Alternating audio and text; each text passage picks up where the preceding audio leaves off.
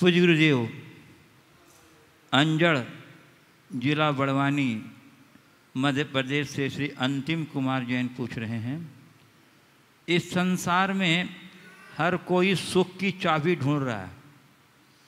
परंतु महाराज जी, जब सुख में ही आनंद है, तृप्ति है, समाधान है तो शंका ये है कि सुख को ताला लगाया किसने?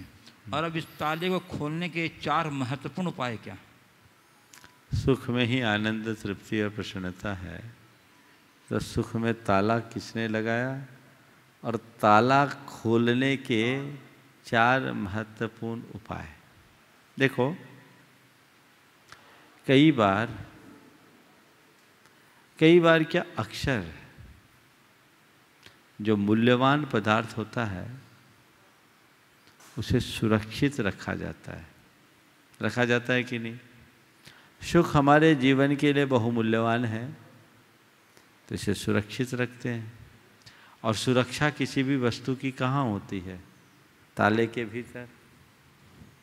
सुख हमारे लिए मूल्यवान है, और सुख को सुरक्षित करने के लिए भी हमें उसे ताला में रखना पड़ता है, रखे। लेकिन विडम्बना उनके साथ है जिनने ताला तो लगा दिया पर चाबी भूल गए। अब चाबी भूल गए तो क्या करें? और भूले भी नहीं है।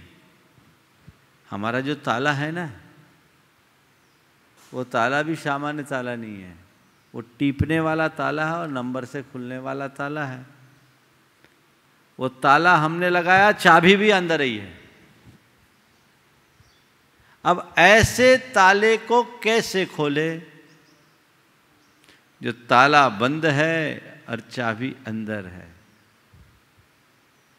इसको खोलने के लिए सबसे पहला काम नंबर मिलाने की कला सीखो। अगर तुम अपने सुख के ताला को खोलना चाहते हो तो पहली बात नंबर मिलाने की कोशिश करो। अर्थात देव गुरु और शास्त्र से अपना नाता जोड़ दो। अगर वो नंबर मिल गया तो जो ये ताला है ना, पल में खुल जाएगा।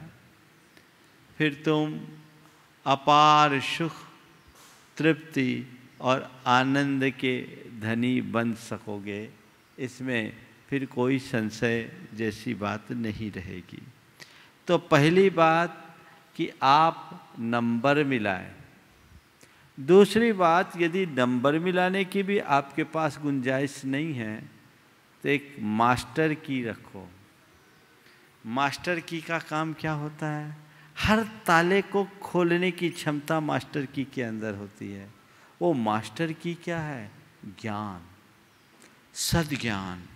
सदज्ञान की चाबी तुम लगा दो, तुम्हारा ये ताला खुलेगा और सुख की अनुभूति हर पल तुम्हारे भीतर होगी। महाराज, नंबर मिलाने की भी गुंजाइश नहीं है, मास्टर की भी हमारे पास नहीं है तो फिर क्या करें? तो फिर उसके लिए तीसरा उपाय होता है, उस ताले को तोड़ने का।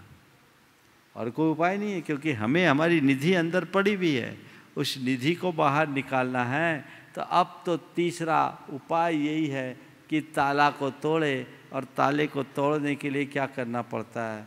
हथौड़ी का प्रहार करना पड़ता है। तो वो हथौड़ी का प्रहार किसके पास जाए?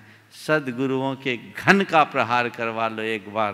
ताला पल में टूट जाएगा और तुम्हारे भीतर का खजाना खुल जाएगा और चौथा जो तुमने बोला है मैं यही कहता हूँ हमेशा उस चाबी को अपनी जनेऊ में बाँध के रखो, अपने कमर में बाँध के रखो, ताकि चाबी वो कभी घुमे ही नहीं।